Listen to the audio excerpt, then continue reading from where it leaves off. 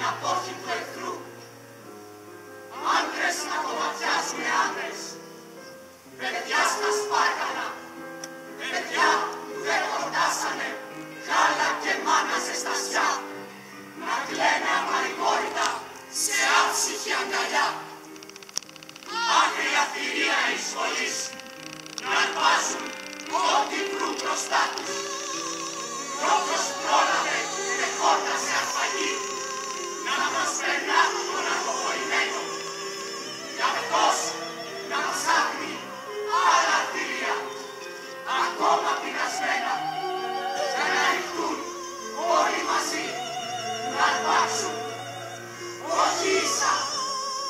Hoje, Inglaterra!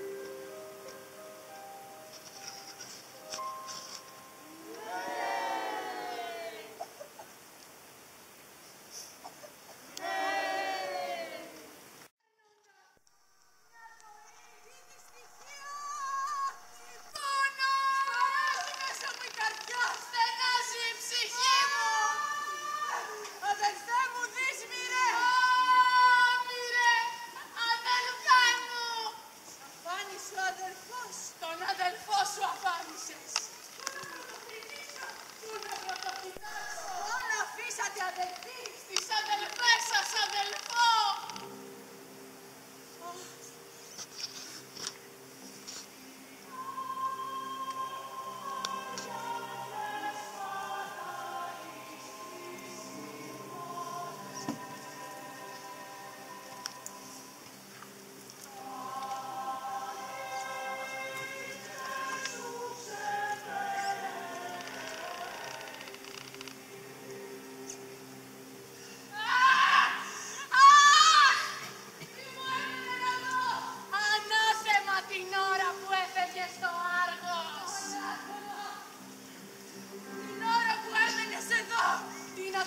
που νίκησες νεκρός και αφανίστηκε και αφανίστηκε.